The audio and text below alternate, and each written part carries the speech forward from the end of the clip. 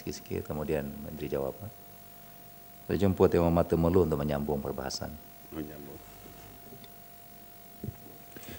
A'udzubillahi minasyaitonirrajim. Bismillahirrahmanirrahim. Assalamualaikum warahmatullahi wabarakatuh dan salam sejahtera. Terima kasih uh, Datuk Datuk Pengurusi uh, kerana membenarkan uh, saya untuk menyambung perbahasan. Uh, rojokan saya ialah butiran 02 0000 Polis Diraja Malaysia. Aktiviti 02 0600 Keselamatan dalam negeri dan ketenteraman awam. Uh, pertamanya saya ingin memberikan satu komitmen bahawa segala langkah yang diambil untuk mengurangkan kadar jenayah yang berlaku dalam negara kita. Seperti menambah jumlah pegawai yang bertugas dan juga menambah uh, penggunaan CCTV adalah sangat disokong dan ini adalah merupakan satu langkah yang baik. Sehingga statistik uh, polis diraja Malaysia mengesahkan bahawa kadar jenayah dalam negara kita telah pun menurun.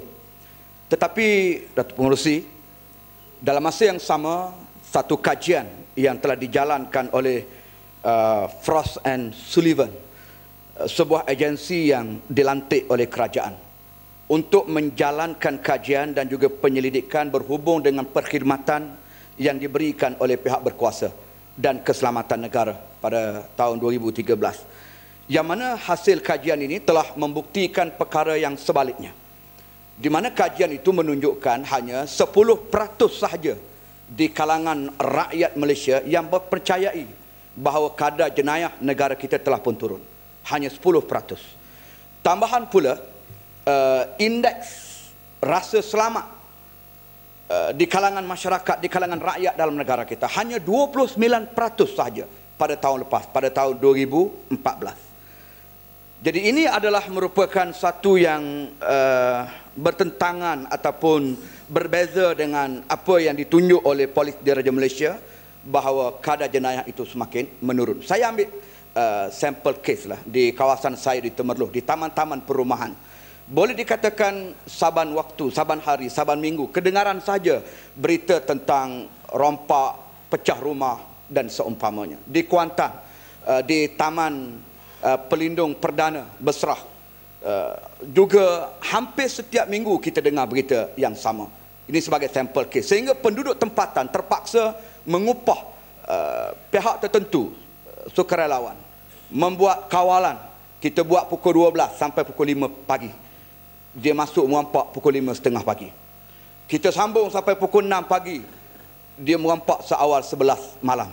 Jadi mereka juga licik dan menyebabkan rakyat tidak selamat dan rasa takut untuk menghadapi hari-hari kehidupan mereka. Jadi persoalan saya ialah uh, kenapa perkara ini masih uh, boleh berlaku sedangkan pihak polis diraja Malaysia mengesahkan indeks jenayah itu menurun uh, di mana sebenarnya silapnya dan apakah pihak penguatkuasaan masih belum benar-benar Uh, berkesan dan berjaya untuk mencegah jenayah ini berlaku ataupun kerana undang-undang yang masih belum uh, benar-benar menggerunkan penjenayah ataupun tidak berkesan untuk menghadirkan rasa selamat di kalangan rakyat Malaysia.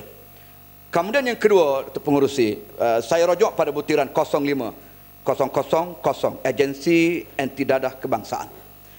Di sini juga saya masih uh, meragui status Malaysia Bebas Dadah 2015. Kerana statistik yang dikeluarkan oleh uh, agensi anti dadah kebangsaan ini pada tahun lepas 2014 menunjukkan bahawa langkah untuk menangani racun dadah di negara kita ini masih kelihatan kurang efektif. Statistik yang ada pada tahun lepas jumlah kes uh, penagihan adalah 21,777 kes dengan 13,605 kes yang baru manakala baki 8172 kes adalah kes yang berulang. Jadi ini menunjukkan uh, suatu perubahan uh, ini ini tidak menunjukkan suatu perubahan yang memberangsangkan ataupun yang baik sejak daripada pelaksanaan pelan strategik agensi anti dadah kebangsaan 2011 sehingga 2015 ini. Jadi dengan itu saya ingin mencadangkan kepada pihak kerajaan yang pertama supaya kajian menyeluruh uh, dijalankan termasuklah menguasai uh, psikologi masyarakat dalam menyediakan uh, sesuatu exit plan dengan izin terhadap permasalahan dadah yang berlaku dalam negara kita.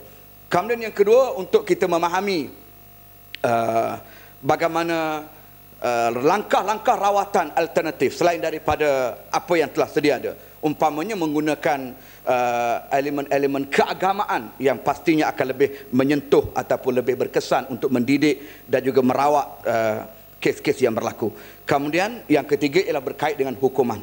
Uh, setelah hukuman yang sedia ada ini dilihat masih lagi bermasalah untuk mengekang penularan uh, edaran dadah dalam negara kita kenapa tidak kita juga membuat kajian tentang uh, hukuman Islam sebagai contoh yang mengambil langkah pencegahan Uh, dan juga pendidikan yang lebih awal sebelum uh, sesuatu hukuman itu dijatuhkan.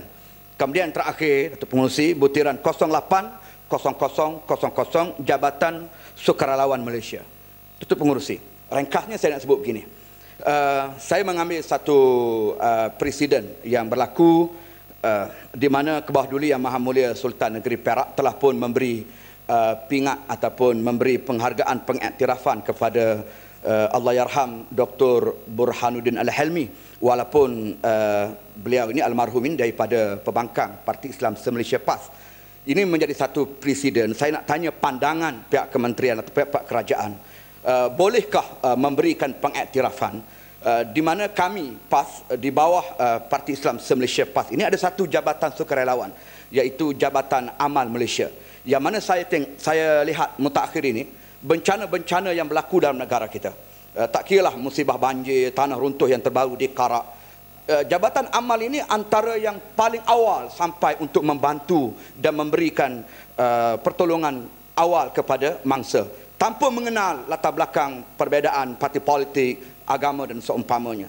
Jadi kalau ada pengiktirafan itu barangkali memudahkan Jabatan Amal ini pergi lebih jauh untuk uh, uh, membantu dan juga menjadi uh, NGO sukarelawan dalam uh, apa jua bentuk bencana dan musibah dalam negara kita. Jadi saya minta pandangan uh, pihak kerajaan apakah boleh memberikan pengiktirafan walaupun dia ditubuhkan di bawah parti politik tapi melihat kepada peranan dan juga keberkesanan uh, aktiviti-aktiviti yang telah pun dilakukan dan dijalankan oleh Jabatan Amal Malaysia ini. Jadi itulah tiga perkara yang saya ingin uh, sentuh dalam perbahasan. Terima kasih Datuk Musi.